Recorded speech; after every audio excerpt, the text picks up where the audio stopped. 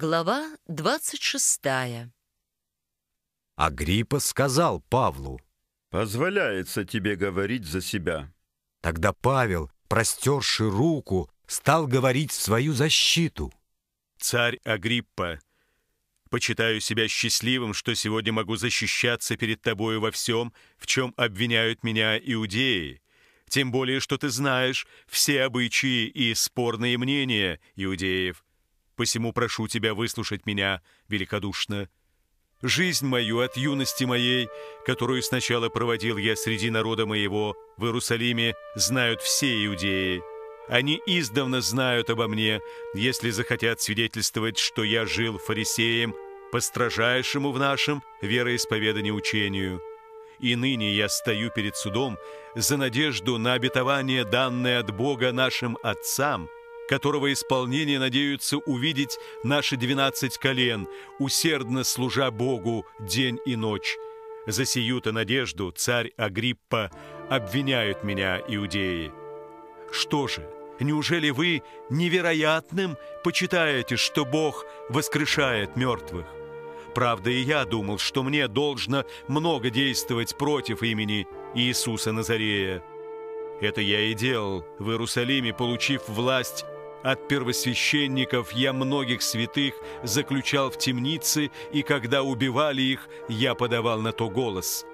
И по всем синагогам я многократно мучил их и принуждал хулить Иисуса, и в чрезмерной против них ярости преследовал даже и в чужих городах.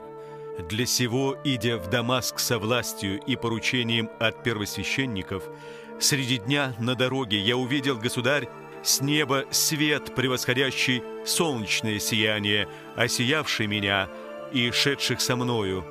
Все мы упали на землю, и я услышал голос, говоривший мне на еврейском языке, «Савл, Савл, что ты гонишь меня? Трудно тебе идти против рожна». Я сказал, «Кто ты, Господи?»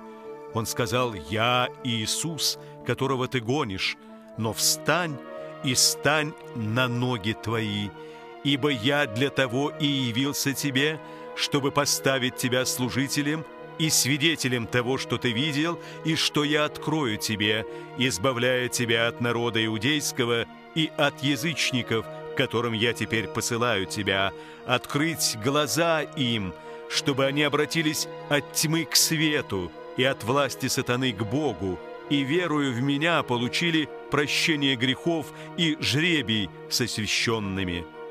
Поэтому, царь Агриппа, я не воспротивился небесному видению. Но сперва жителям Дамаска и Иерусалима, потом всей земле, иудейской и язычникам, проповедовал, чтобы они покаялись и обратились к Богу, делая дела, достойные покаяния.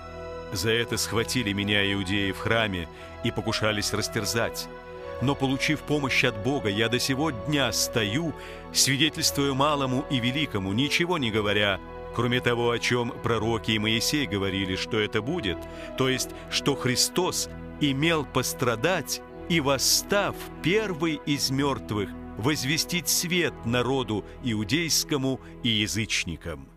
Когда он так защищался, Фест громким голосом сказал «Безумствуешь ты, Павел!» Большая ученость доводит тебя до сумасшествия. Нет, достопочтенный Фест, сказал он. Я не безумствую, но говорю слова истины и здравого смысла. Ибо знает об этом царь, перед которым и говорю смело.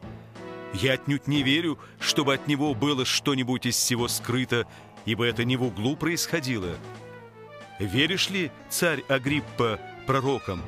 Знаю, что веришь. Агриппа сказал Павлу, «Ты немного не убеждаешь меня сделаться христианином». Павел сказал, «Молил бы я Бога, чтобы мало ли, много ли, не только ты, но и все, слушающие меня сегодня, сделались такими, как я, кроме этих уз». Когда он сказал это, царь и правитель, Вереника и сидевшие с ними встали и, отойдя в сторону, говорили между собой, что этот человек ничего достойного смерти или уз не делает. И сказал Агриппа Фесту, Можно было бы освободить этого человека, если бы он не потребовал суда у кесаря. Посему и решился правитель послать его к кесарю.